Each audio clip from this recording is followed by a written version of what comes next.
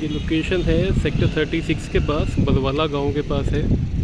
और यहाँ भी ये सड़क अभी लगभग एक महीने पहले बंद की गई थी और इसमें पिलर्स बनाने का काम चालू है। ये काफ़ी हिस्सा लगता है एलिवेटेड जाएगा।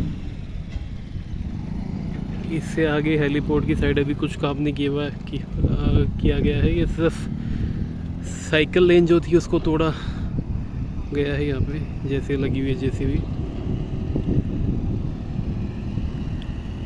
हाँ लेकिन ये काम हुआ है, जो सड़क की चौड़ाई यहाँ बढ़ाई गई है, ये हुआ है। पहले यहाँ साइकिल लेन थी, उसके बाद खाली जगह थी।